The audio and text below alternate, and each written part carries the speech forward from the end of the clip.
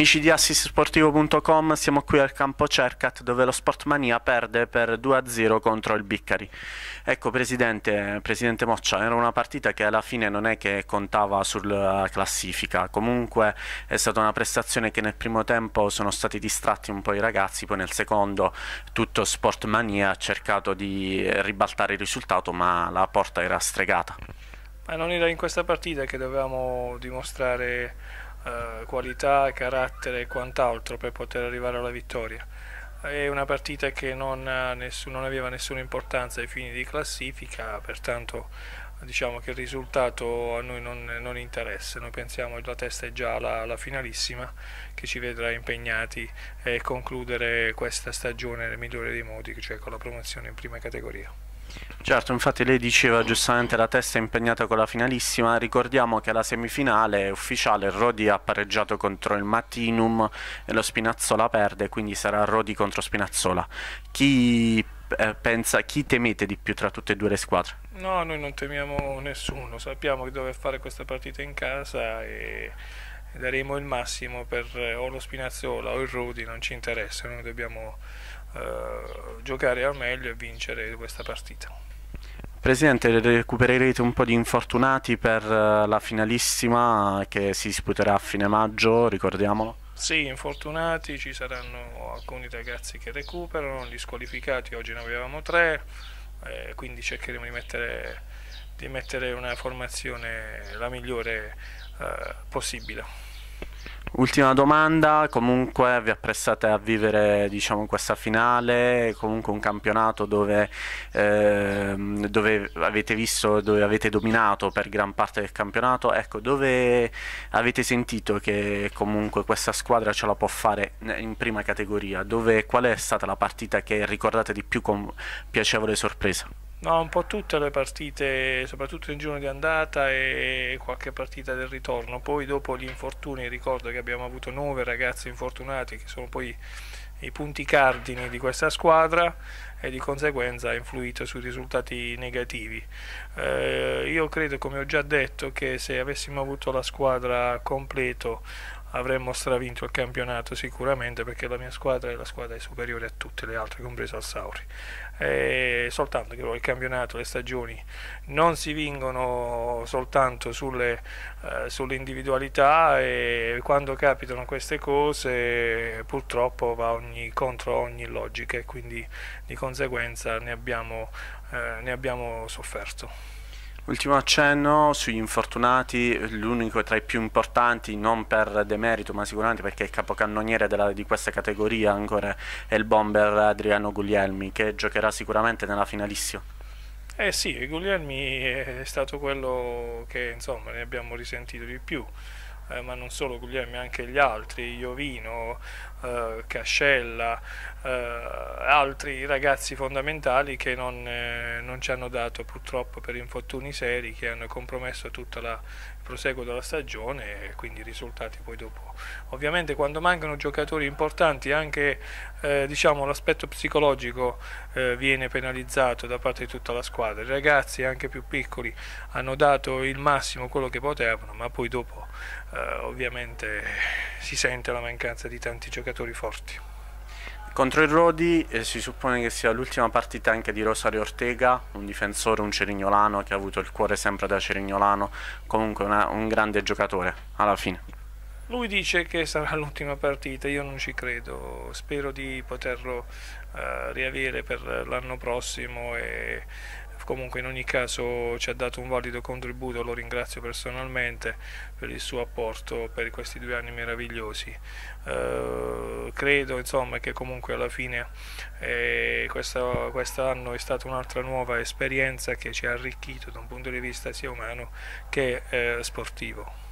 Perfetto, la ringraziamo Presidente e alla prossima è un appuntamento alla finalissima a fine maggio. Sì, sì, sì, sì, grazie, grazie. Amici di assistsportivo.com, ci troviamo qui con il mister del Bicker, mister Onorato. Mister, avete disputato la classica partita perfetta, comunque il campionato non vi poteva dare ulteriori risultati perché oramai vi siete salvati, diciamo.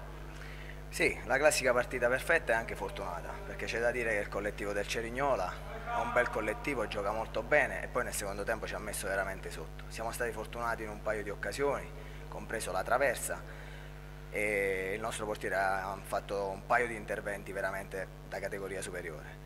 Il primo tempo invece penso sia stata una buona partita da parte nostra, eh, molte buone trame e il vantaggio del primo tempo era meritato, tutto sommato una buona prestazione. Certo, a voi il vostro campionato è stato molto ehm, derso di eh, ostacoli, intenso di ostacoli, ecco, perché praticamente avete vissuto un periodo in cui siete partiti male, onestamente, poi di lì avete avuto un modo, una ripresa fin quando non è arrivata la, la gognata salvezza e comunque cosa vi ha fatto scattare diciamo, in quel campionato, in quella gara particolare che c'è stato diciamo, lo scatto per la salvezza? Allora ti dico, noi siamo partiti perché eh, l'obiettivo era quello della salvezza.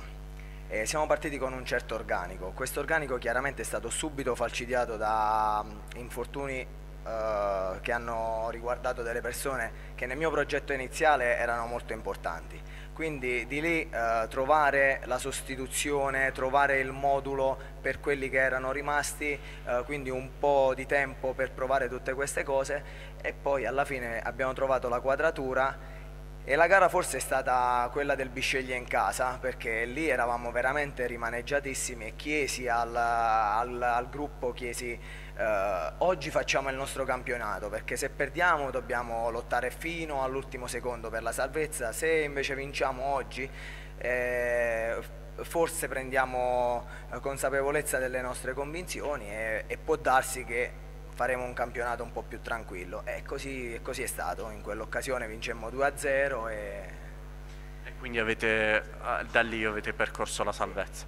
Mattatore della gara, andando nello specifico, è stato il numero 9 Silvestre, eh, un giocatore che comunque durante tutta la partita è il classico ariete che ha dato filo da torcia ai difensori cirignolani. Penso che sia un, un giocatore da, da proporre in categorie superiori. È chiaro che nei nostri campionati si dilettantistici si pensa prima allo studio, al lavoro e poi al, diciamo, al classico divertimento che è quello del calcio.